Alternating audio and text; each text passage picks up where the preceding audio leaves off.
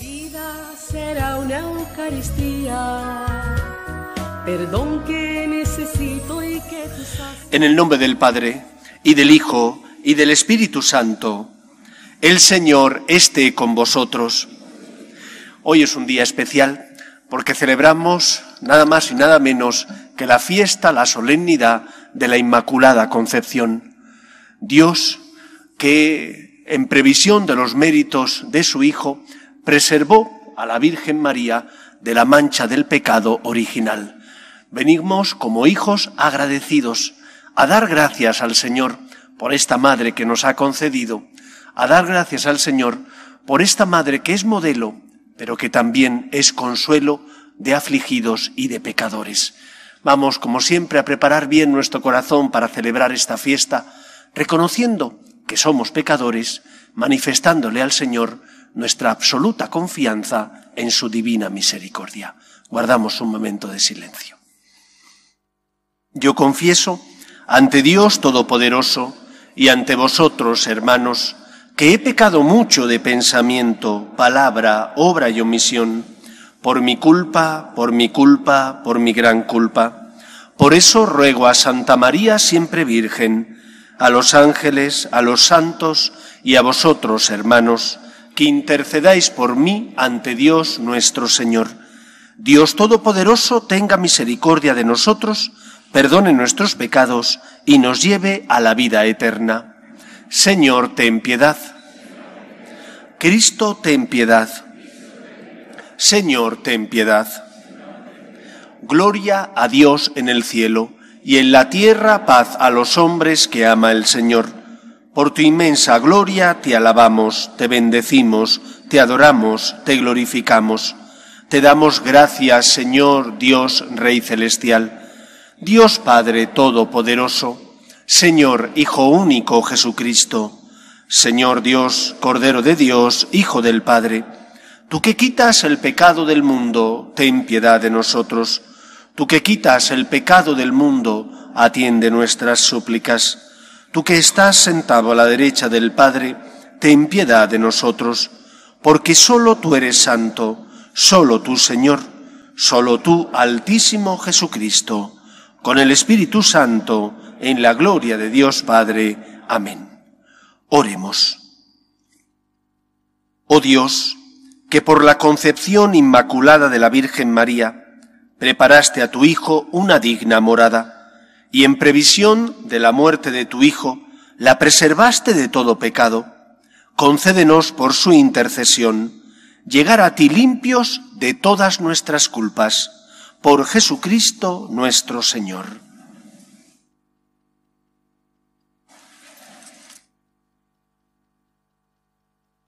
Lectura del libro del Génesis. Después que Adán comió del árbol, el Señor llamó al hombre, ¿Dónde estás? Él contestó, Oí tu ruido en el jardín, me dio miedo porque estaba desnudo y me escondí. El Señor le replicó, ¿quién te informó de que estabas desnudo? ¿Es que has comido del árbol del que te prohibí comer? Adán respondió, La mujer que me diste como compañera me ofreció del fruto y comí. El Señor dijo a la mujer, ¿qué es lo que has hecho? Ella respondió, La serpiente me engañó y comí. El Señor dijo a la serpiente, Por haber hecho eso, serás maldita entre todo el ganado y todas las fieras del campo. Te arrastrarás sobre el vientre y comerás polvo toda tu vida. Establezco hostilidad entre ti y la mujer, entre tu estirpe y la suya. Ella te herirá la cabeza cuando tú le hieras el talón. El hombre llamó a su mujer Eva por ser la madre de todos los que viven. Palabra de Dios. Te alabamos, Señor. Cantad al Señor un cántico nuevo, porque ha hecho maravillas. Cantad al Señor un cántico nuevo, porque ha hecho maravillas. Cantad al Señor un cántico nuevo, porque ha hecho maravillas. Su diestra le ha dado la victoria, su santo brazo. Cantad al Señor un cántico nuevo, porque ha hecho maravillas. El Señor da a conocer su victoria, revela a las naciones su justicia se acordó de su misericordia y su fidelidad en favor de la casa de Israel. Cantad al Señor un cántico nuevo, porque ha hecho maravillas. Los confines de la tierra han contemplado la victoria de nuestro Dios. Aclama al Señor tierra entera, gritad, vitoread, tocad. Cantad al Señor un cántico nuevo, porque ha hecho maravillas.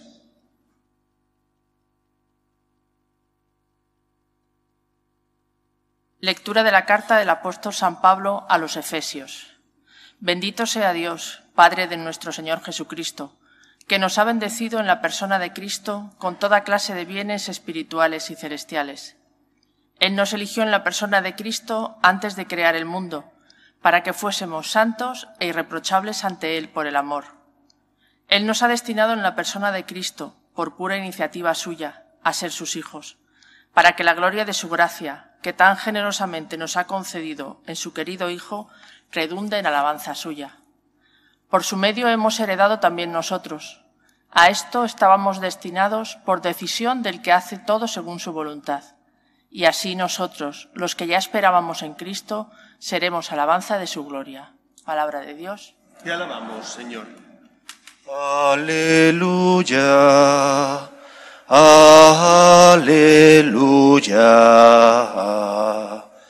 Aleluya.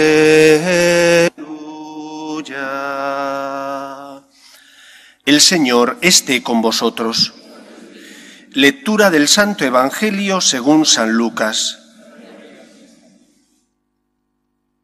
En aquel tiempo, el ángel Gabriel fue enviado por Dios a una ciudad de Galilea llamada Nazaret a una virgen desposada con un hombre llamado José de la estirpe de David.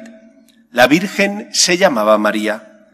El ángel entrando en su presencia dijo, Alégrate llena de gracia, el Señor está contigo. Ella se turbó ante estas palabras y se preguntaba qué saludo era aquel. El ángel le dijo, No temas, María, porque has encontrado gracia ante Dios. Concebirás en tu vientre y darás a luz un hijo, y le pondrás por nombre Jesús.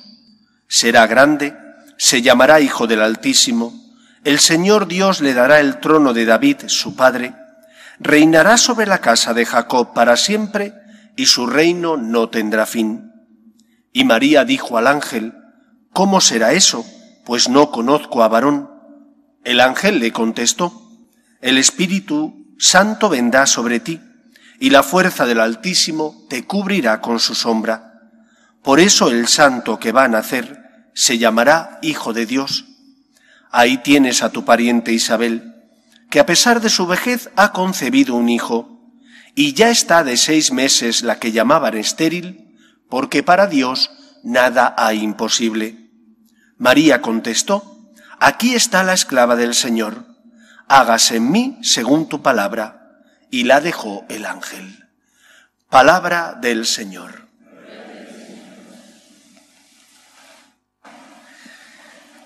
El catolicismo es una religión que busca el equilibrio. El equilibrio, por ejemplo, entre conjugar, por un lado, la libertad del ser humano y, por otro, el poder de la gracia. El Papa Benedicto XVI, Papa emérito, decía que la fe no se impone, sino que Dios la propone. Equilibrio porque Dios respeta nuestra libertad, pero a la vez, con su gracia, mueve nuestro corazón para que hagamos el bien y evitemos el mal. La fiesta que hoy celebramos, la fiesta de la Inmaculada Concepción, nos habla, en primer lugar, de cómo Dios tenía un plan para salvar al ser humano y cómo en ese plan de salvación María ocupa un lugar importante, un lugar fundamental, pero un lugar que Dios tenía preservado para ella, pero que no quita su libertad, puesto que ella podía haber dicho que no al anuncio del ángel. Un lugar en el que María es la primera de la Iglesia, pero no es la única. Hablamos de privilegios de la Virgen, porque lo son, pero de privilegios que ella los recibió en primera persona para que después el resto de la humanidad también pudiera gozar de ellos. Es evidente que ninguno de nosotros ha sido concebido como la Virgen sin pecado original. ¿En qué consistió el pecado original? El pecado original es el pecado de nuestros primeros padres. Ellos sí fueron concebidos sin esa mancha, sin esa inclinación al mal. Pero fue por soberbia, quieren ser como dioses, que pervierten esa bondad natural que tienen en el corazón y entonces el pecado entra en la vida, entra en la vida de los hombres. A raíz de aquel primer pecado, ese pecado original, se reproduce mediante la generación en la concepción de cada ser humano. De manera que a partir de nuestros primeros padres, de Adán y Eva, todos nacemos ya con esa inclinación al mal. María no, porque en previsión de los méritos de Cristo, dice el dogma de la Inmaculada Concepción, Dios Padre la preservó. como iba a aquella que iba a darnos al Salvador, cómo iba a conocer el pecado. Aquella que iba a engendrar en su seno al que iba a destruir el pecado, no podía conocer el pecado. Y por eso Dios Padre, en previsión de los méritos de Cristo, preserva a la Virgen María de ese pecado que llamamos pecado original. Nosotros nacemos con esa mancha, pero es verdad que cuando tú eres humilde y pides perdón, tanto esa mancha como el resto de pecados se te quedan limpios, se te quitan, te liberan, por tanto, de esa esclavitud que es el pecado. María fue preservada en su concepción del pecado original. Nosotros no, pero sí a lo largo de la vida podemos experimentar esa liberación cuando nos acercamos a la confesión y el Señor nos libera del pecado cargando con sus hombros, sobre sus hombros con nuestra miseria, con nuestro pecado. Os decía que el catolicismo es equilibrio. Equilibrio porque, por una parte, hablamos de los privilegios de la Virgen María, pero por otra parte, esos privilegios también nosotros vamos a gozar de ellos. No como ella, que fue preservada en la concepción, pero sí como ella podemos gustar de esa pureza de corazón cuando nos acercamos al Señor en la confesión, cuando el Señor perdona nuestras culpas y nuestro pecado. Ella lo recibió como hija de Dios y como miembro de la Iglesia. Y nosotros, como miembros de la Iglesia que somos, también podemos disfrutar de ese perdón de los pecados para tener el corazón limpio.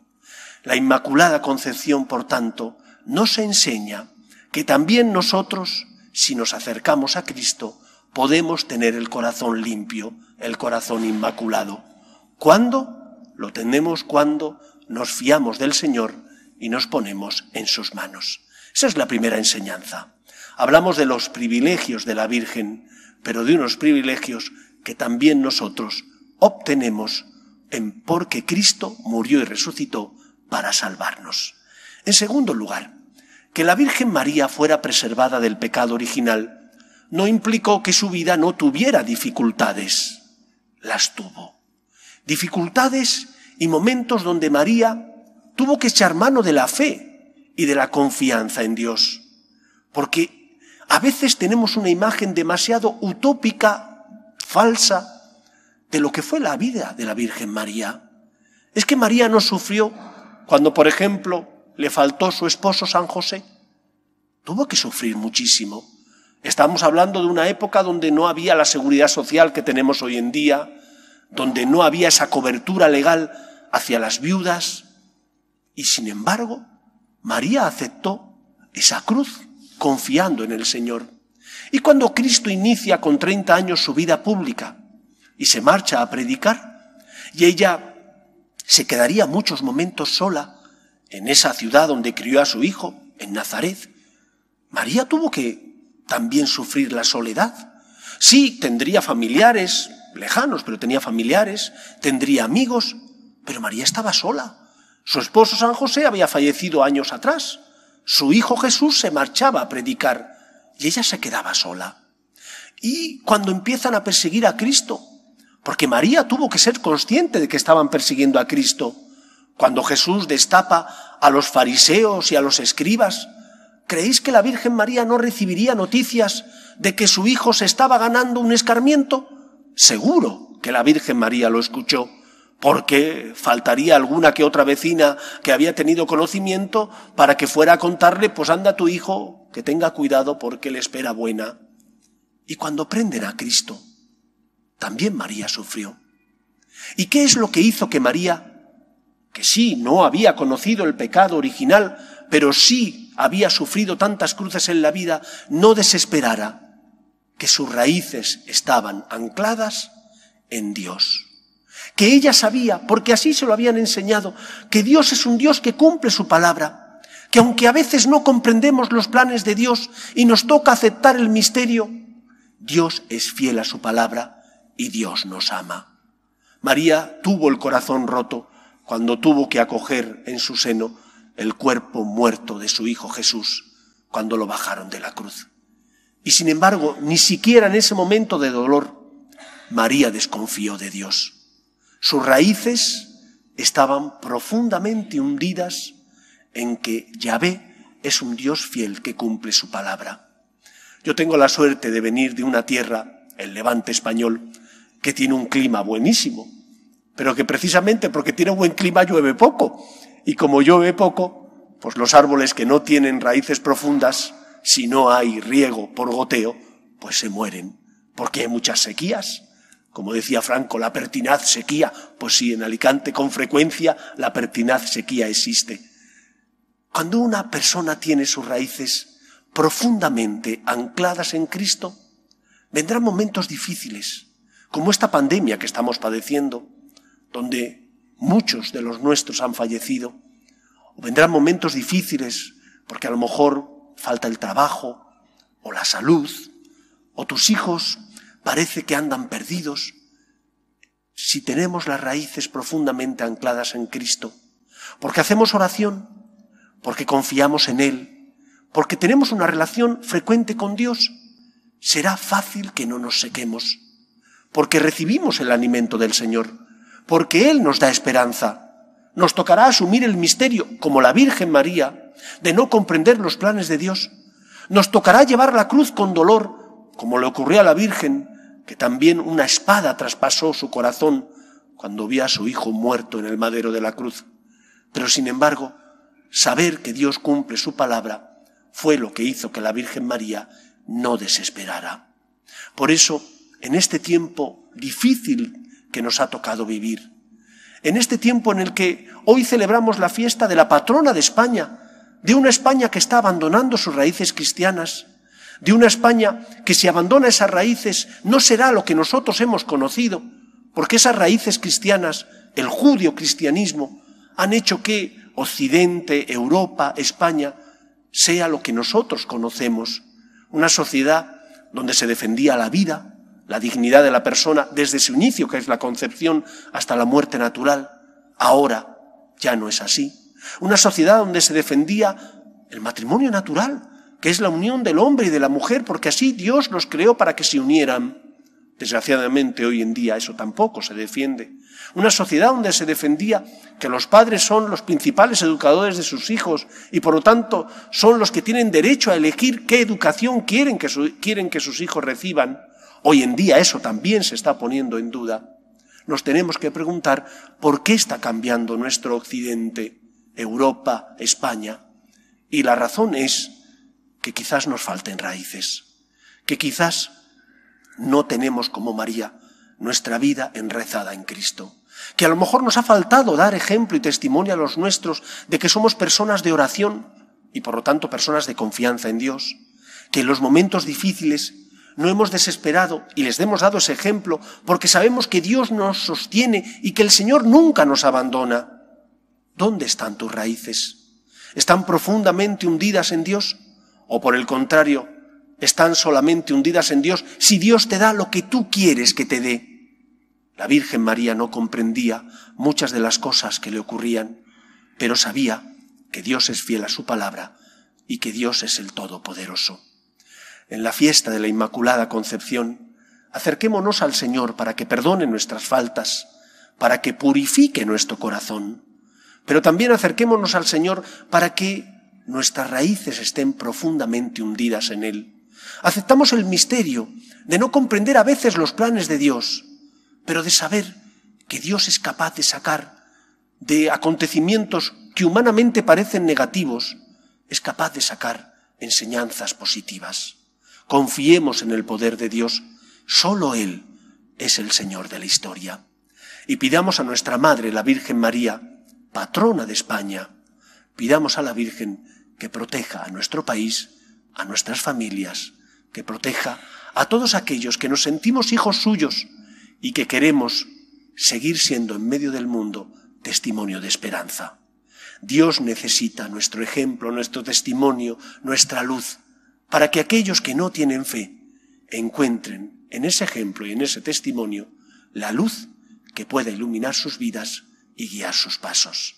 Proclamamos el cariño y el amor hacia la Virgen María y le pedimos a nuestra Madre que nos proteja, que nos ayude a tener su fe, una fe hundida en el amor de Dios, una fe que asumía el misterio cuando no podía comprender con su razón el porqué de ciertos acontecimientos.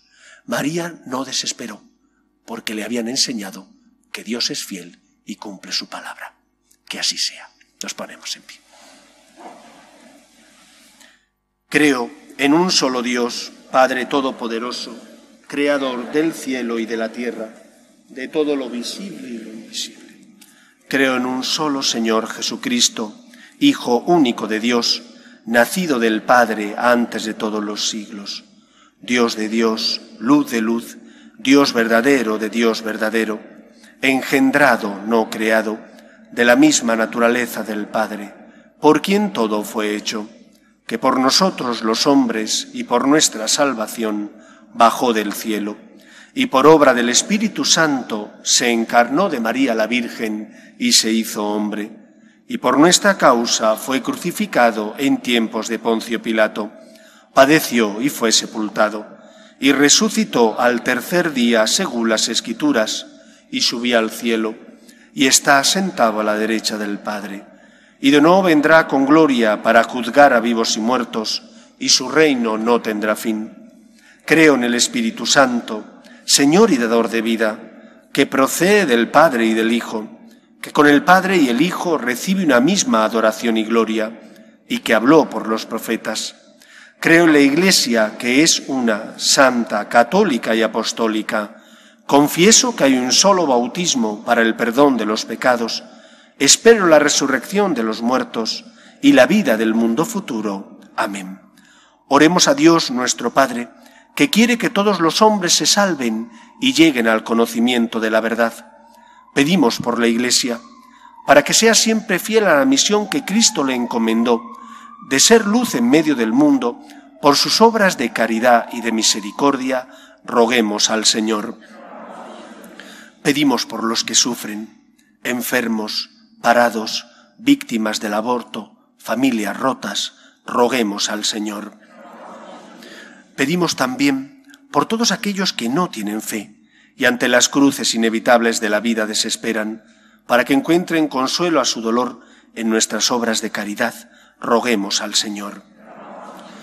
Pedimos también por España, para que no abandone sus raíces cristianas, roguemos al Señor.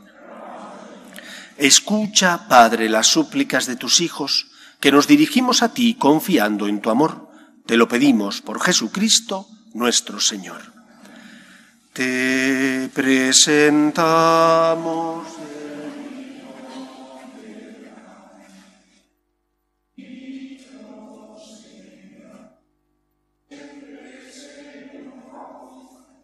Bendito sea Señor este pan que nos diste fruto de la tierra y del trabajo de los hombres. Te presentamos el vino y el pan. Bendito seas por siempre, Señor.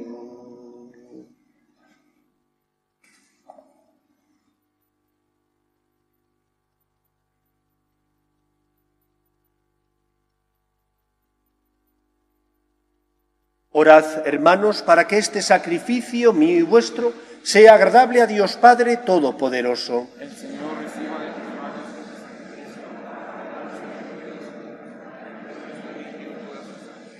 Señor, recibe complacido el sacrificio salvador que te ofrecemos en la solemnidad de la Inmaculada Concepción de Santa María Virgen.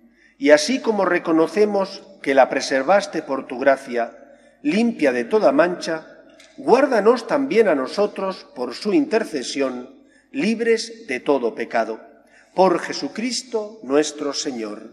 El Señor esté con vosotros. Levantemos el corazón. Demos gracias al Señor nuestro Dios. En verdad es justo y necesario, es nuestro deber y salvación, darte gracias siempre y en todo lugar, Señor Padre Santo, Dios Todopoderoso y Eterno, porque preservaste a la Santísima Virgen María de toda mancha de pecado original, para preparar en ella, enriquecida con la plenitud de tu gracia, la digna madre de tu Hijo, y mostrar el comienzo de la Iglesia, su esposa bella, sin mancha ni arruga. Purísima había de ser la Virgen que nos diera al Cordero, inocente que quita el pecado del mundo. Purísima, la que destinabas entre todos para tu pueblo como abogada de gracia y ejemplo de santidad. Por eso, unidos a los coros de los ángeles, te alabamos proclamando, llenos de alegría. Santo, santo, santo es el Señor, Dios del universo. Llenos están el cielo y la tierra de tu gloria. Osana en el cielo. Bendito el que viene en nombre del Señor. Osana en el cielo. Santo eres en verdad, Señor, fuente de toda santidad. Por eso te pedimos que santifiques estos dones con la efusión de tu Espíritu, de manera que se conviertan para nosotros en el cuerpo y la sangre de Jesucristo nuestro Señor, el cual, cuando iba a ser entregado a su pasión, voluntariamente aceptada, tomó pan, dándote gracias lo partió y lo dio a sus discípulos, diciendo, Tomad y comed, todos de él, porque esto es mi cuerpo, que será entregado por vosotros.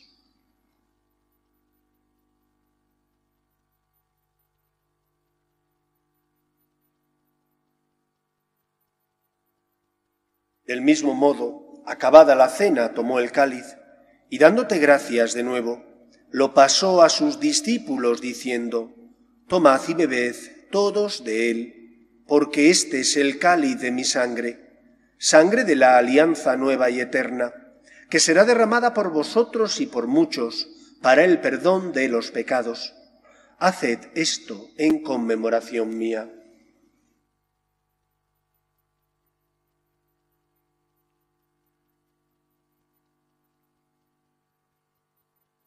Este es el sacramento de nuestra fe.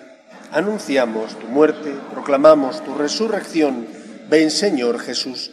Así pues, Padre, al celebrar ahora el memorial de la muerte y resurrección de tu Hijo, te ofrecemos el pan de vida y el cáliz de salvación. Y te damos gracias porque nos haces dignos de servirte en tu presencia. Te pedimos humildemente que el Espíritu Santo congregue en la unidad a cuantos participamos del cuerpo y sangre de Cristo. Acuérdate, Señor, de tu Iglesia, extendida por toda la tierra, y con el Papa Francisco, con nuestro Obispo Carlos y todos los pastores que cuidan de tu pueblo, llévala a su perfección por la caridad. Acuérdate también de nuestros hermanos que durmieron en la esperanza de la resurrección, de tus hijos, Fuensanta, Dolores, Francisco, Juan, Jorge Roberto, Román, Concha, Estuardo, Raúl, Juan Miguel, y de todos los que han muerto en tu misericordia, admítelos a contemplar la luz de tu rostro. Ten misericordia de todos nosotros, y así con María la Virgen, Madre de Dios, San José, los apóstoles y cuantos vivieron en tu amistad a través de los tiempos, merezcamos por tu Hijo Jesucristo compartir la vida eterna y cantar tus alabanzas. Por Cristo, con Él y en Él, a ti, Dios Padre Omnipotente, en la unidad del Espíritu Santo, todo honor y toda gloria por los siglos de los siglos. El Señor preservó a la que tenía que ser la madre de su Hijo de la mancha de pecado original, pero no la preservó de las dificultades de la vida, no le privó de tener que asumir el misterio, de no comprender a veces los planes de Dios o el porqué de las cosas. En esos momentos, María no desesperó porque su fe estaba basada en la experiencia del amor de Dios, porque era una mujer de oración, porque era una mujer que creía y confiaba que Dios nunca abandona a sus hijos los hombres. Pidamos a la Virgen, bajo la advocación de la Inmaculada, que nos dé su fe, una fe inquebrantable, una fe que sea luz en medio del mundo y que transforme nuestra sociedad, nuestras costumbres. Rezamos con confianza la oración que Jesús nos enseñó. Padre nuestro que estás en el cielo, santificado sea tu nombre. Venga a nosotros tu reino. Hágase tu voluntad en la tierra como en el cielo. Danos hoy nuestro pan de cada día. Perdona nuestras ofensas como también nosotros perdonamos a los que nos ofenden. No nos dejes caer en la tentación y líbranos del mal. Líbranos de todos los males, Señor, y concédenos la paz en nuestros días, para que, ayudados por tu misericordia, vivamos siempre libres de pecado y protegidos de toda perturbación, mientras esperamos la gloriosa venida de nuestro Salvador Jesucristo. Señor Jesucristo, que dijiste a tus apóstoles, la paz os dejo, mi paz os doy no tengas en cuenta nuestros pecados, sino la fe de tu Iglesia, y conforme a tu palabra concédele la paz y la unidad. Tú, que vives y reinas por los siglos de los siglos, la paz del Señor esté siempre con vosotros. Cordero de Dios, que quitas el pecado del mundo, ten piedad de nosotros. Cordero de Dios, que quitas el pecado del mundo, ten piedad de nosotros. Cordero de Dios, que quitas el pecado del mundo, danos la paz.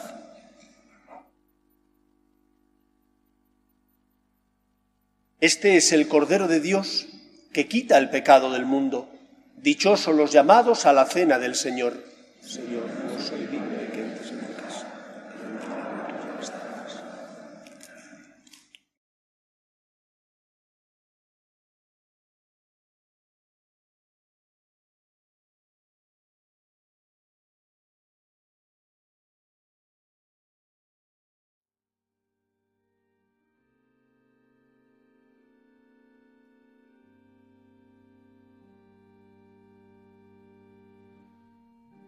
Comunión espiritual. Creo, Jesús mío, que estás real y verdaderamente en el cielo y en el santísimo sacramento del altar. Te amo sobre todas las cosas y deseo vivamente recibirte dentro de mi alma. Pero no pudiendo hacerlo ahora sacramentalmente, ven al menos espiritualmente a mi corazón. Y como si ya te hubiese recibido, te abrazo y me uno del todo a ti. Señor, no permitas que jamás me aparte de ti. Amén.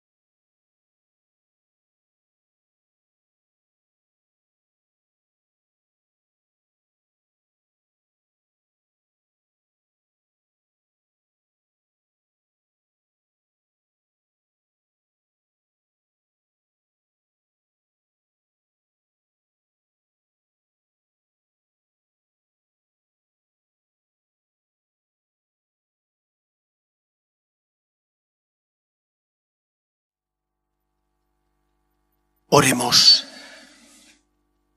Señor Dios nuestro, el sacramento que hemos recibido repare en nosotros los efectos de aquel primer pecado, del que fue preservada de modo singular en su concepción la Inmaculada Virgen María, por Jesucristo nuestro Señor.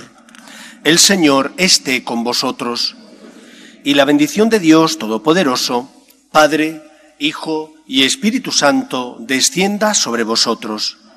Os recuerdo que la colecta de hoy es para ayudar al seminario. Ahora cuando los seminaristas abran las puertas, la colecta que recogeremos sea para ayudar a los candidatos al sacerdocio que necesitan nuestro auxilio, nuestra ayuda económica.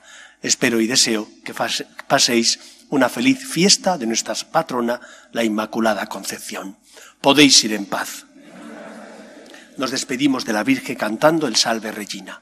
Salve Regina, Mater misericordiae, vita dulcedo, espes nostra salve. A te clamamus, esurres filii a te suspiramus, yermentes et frentes, in a lacrimanum vane. Ella